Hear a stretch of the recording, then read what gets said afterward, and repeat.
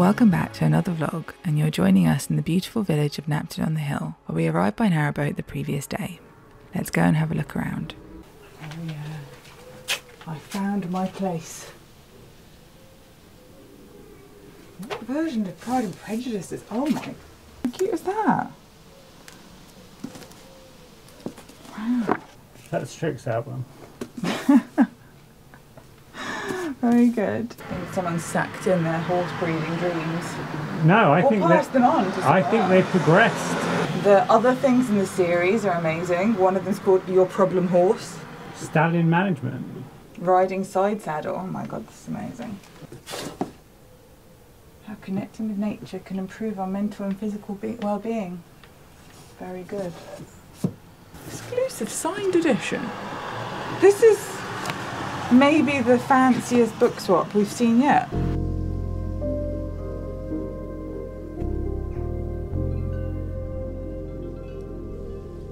B. Itchington. Bitchington. All the cool villagers love to tell you about being recorded in the Domesday Book, and Napton is no exception. In 1086, there were 39 households in Napton, and by the late Middle Ages, the population stood at about a thousand, which is actually about the same as it is now.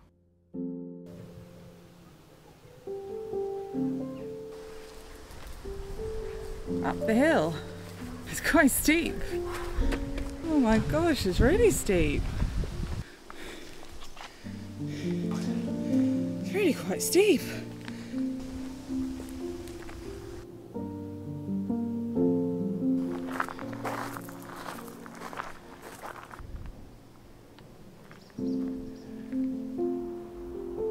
According to local lore, the church was originally planned to be built at the bottom of the hill on the village green.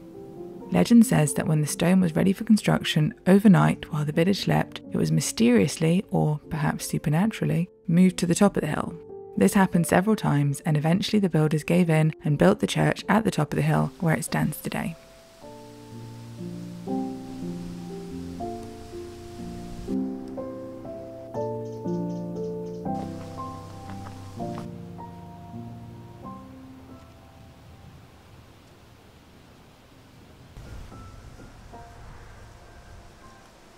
Apparently, on a clear day, you can see seven different counties from the summit of the hill, but unfortunately, my knowledge of local geography doesn't extend to knowing which bit is which. But we know that they're there. That's the important thing. After our hill workout, we walked through the village, and it really is idyllic here. So many gorgeous little cottages and flowers everywhere. It's just charming. There's doors. Those doors.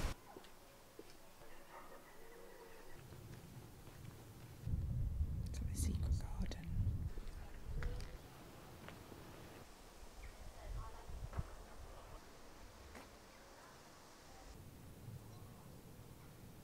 Okay, so we've got Apple Tree Farms whole milk. It's non homogenized and it's from Daventry, which is very near.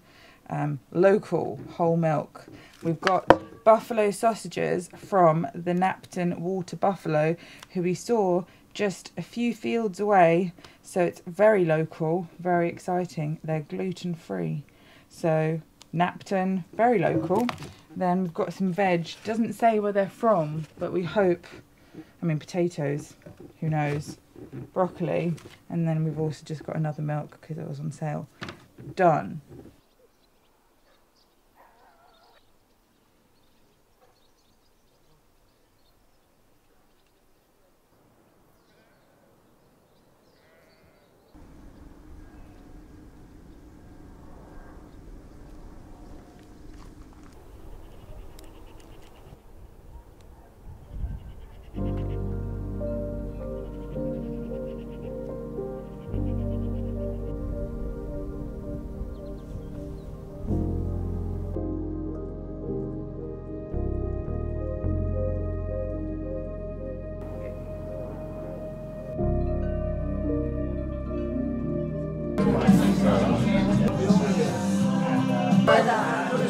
We're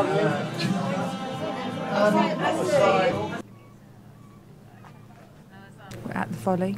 It's the pub that's right around the corner from where we're mooring, and it's very, very nice. I think just having a pint.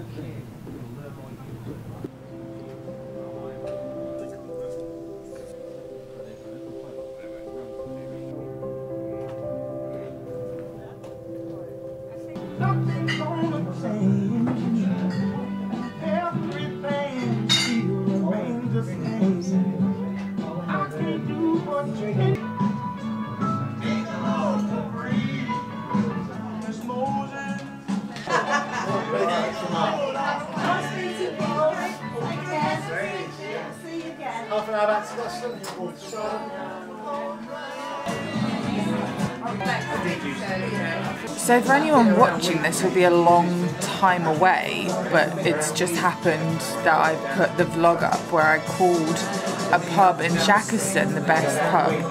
Um, and I do think that that's made um, things quite hard for us. I feel like that's really set a standard and I don't want to offend any other pub because actually this is a really good pub. So I think now we're in a very difficult position of having to rate some pubs, and it, it's something that I will take very seriously.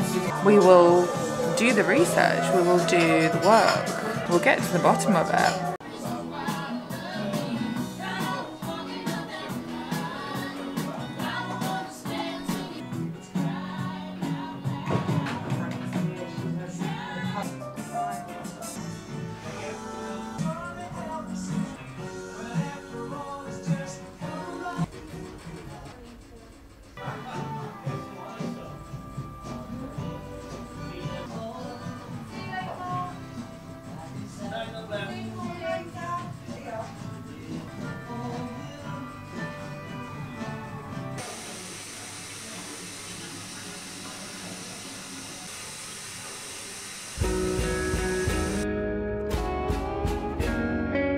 A fantastic moustache. Why, thank you. Well, it, it- yeah, it grows on me. The moustache is the part of the pub. There is a giant badger. Uh, it's, it's a I giant also love badger that. head. We only meant to go out for one quick pint, but we got chatting to the pub landlord, who is a very interesting gentleman, and he had some great stories to tell. We ended up staying past closing time, which is testament to an excellent pub, I reckon.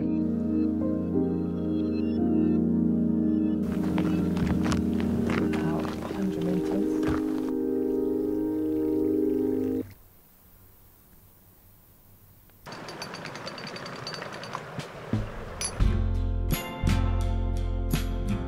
We woke up to another sunny day and decided to head straight out.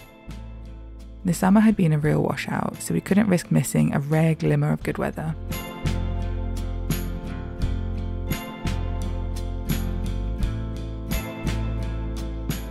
We headed back to the field of the fallen pylons.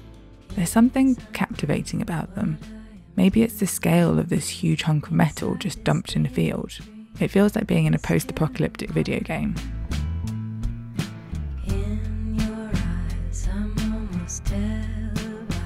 It's meant to be this place and time. You're whispering, my heart is flickering.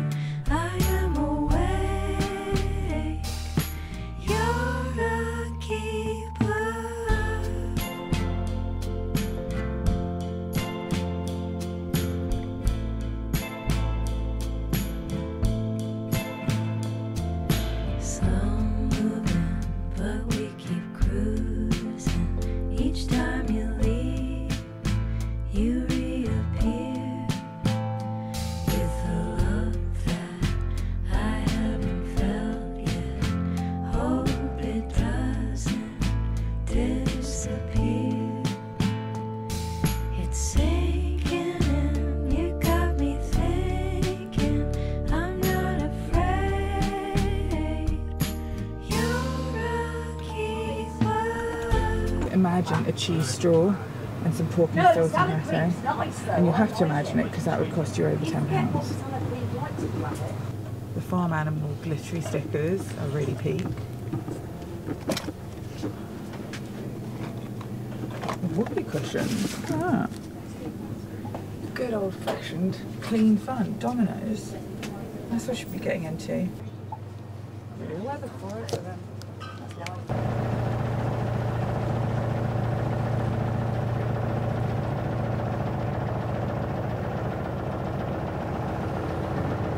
Easy. That was actually probably one of the Yeah. easiest ones we've done. Okay, that was it. Okay. Okay, so we reversed down there, turned 70 foot boats. They need to widen these things. I mean, it was fine. We, we did it, but Basically, we were going that way because we decided to come to Napton and we were going to continue on on a whim to go maybe as far as Oxford, and then we've been in Napton for two wonderful days. Um, and now we have. Uh, it's not an emergency, No, is it? We have something we have to come back to Braunston for. And although we're like, I don't even know how many miles we are, very near, it's basically impossible to get there via public transport because the bus system is very limited. Um, so to get from here to Braunston would mean getting like three buses, going to Coventry, to Rugby. So what we decided to do was to turn the boat around, whiz back there, do what needs to be done, whiz back here again, and continue the journey. it is transport. Yeah. If we had bikes, we could do this in 40 minutes. But hey, But instead, we're going to do this on the boat, two and a half hours each way. why are the oranges floating in the canal? Now you see, I haven't been filming the rest. It's the fifth orange I've seen. Five oranges floating in this canal. What is happening? Phone Mulder and Scully. We're going to need an answer. Get the net out. They're not cheap, you know. That's it. It's canal not bad. Yeah, it's true. Andrew's wearing my hat. Doesn't he look great? He looks fab. I hope my nose doesn't get burnt. Yeah, no, you're covered. Oh, brilliant. Okay, I'm gonna go and put some sunscreen cream Yeah. on. Look at this. Look at this. It's another bloody orange. What is happening? We're bobbing along gently. Another boat just pulled out in front of us, and uh, I kind of always feel maybe it's just me. It's like if you've got a boat like we are now coming up behind them. Uh, sometimes it can just feel a bit stressful, like people are trying to rush you and stuff. So I've uh, gone to a more leisurely pace, and hopefully they can uh, get a bit of distance between us and them. So when they look back, they don't think, oh, this person's tailing me, because that's not what we're doing. It's the canal. It's all relaxed.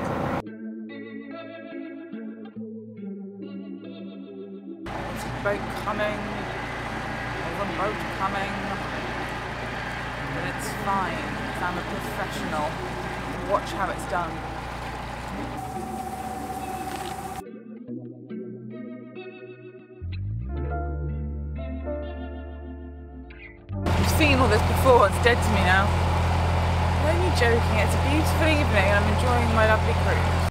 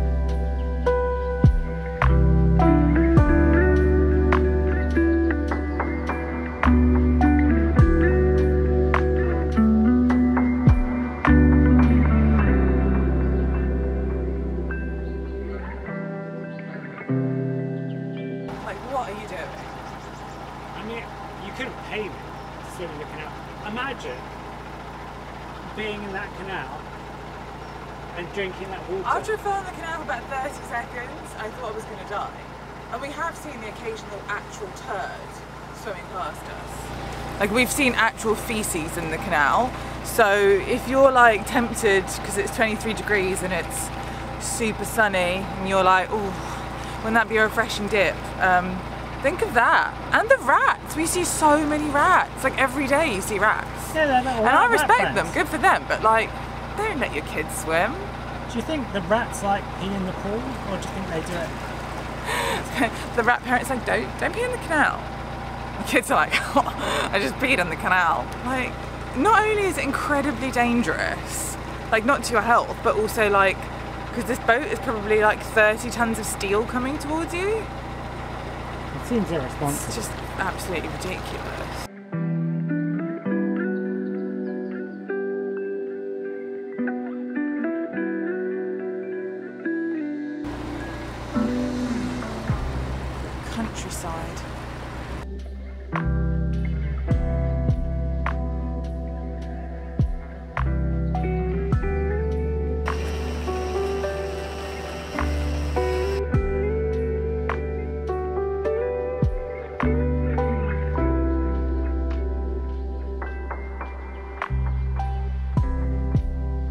We're just about to arrive in Braunston Again, again. it's uh, only been two days. It, feels like a lifetime. We literally feel like we've like lived several weeks, but it's been days. Been two days.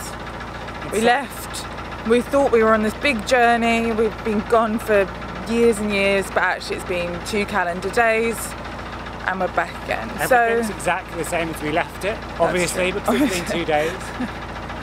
So we'll see how this goes, and then if we can go back out again, or if we continue on. At this point, no point trying to make a plan. No, no point. Because we Well- have got work things. That's one of it's one of our busiest work weekends. Yeah. So we were planning to travel that way, settle and down, then settle down for the weekend, which is quite sort busy for make us. Make sure we've got internet access and Yeah. stuff like that. But we'll just see how it goes. We'll see how it goes. Boating, never make a plan. I've never seen it from this angle before.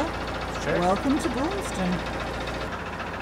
Entering Braunston from a different direction. Absolutely ramo. Absolutely random. But this mooring, whenever we need it, Once we get around this corner, there will be a mooring because there's always a mooring for the Land's. End. Yeah, they're literally already climbing the road. drama on our canal boat. Look at this. Invaders! We've parked up next to an ant's nest, and they're already climbing the ropes. Unwanted invaders! Infestation on our narrowboat. Is this the end? There's the queen, I think. Or oh no, it's a flying ant. This is just a oh, flying ant. Jesus. Look, They're sending in the big guns. Oh, this is just lovely. That's beautiful. See, this is everything that's bad about boat life.